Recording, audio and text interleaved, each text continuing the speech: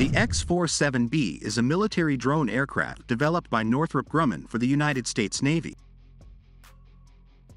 The aircraft is designed for carrier-based operations and is capable of autonomous flight, takeoff and landing.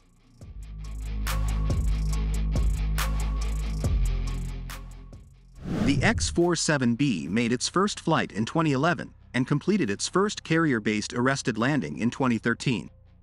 It was the first unmanned aircraft to perform an arrested landing on an aircraft carrier. In 2015, the X-47B completed a series of tests, including successful flight operations from an aircraft carrier.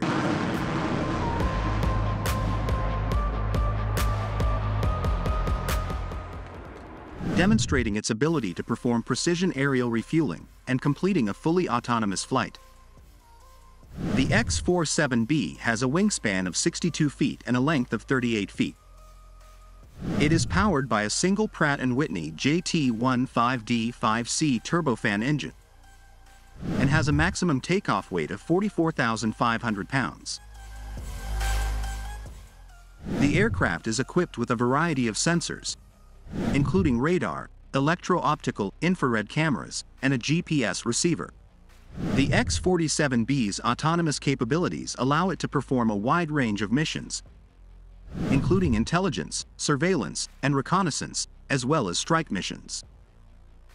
The aircraft's ability to take off and land on aircraft carriers also makes it an ideal platform for long-range missions and rapid response. The X-47B program was completed in 2019 and the aircraft were retired. The program was considered a success, and the technology and lessons learned from the X-47B program are expected to be used in the development of future unmanned aircraft systems. Overall, the X-47B is a groundbreaking unmanned aircraft that has demonstrated the feasibility of autonomous flight and carrier-based operations.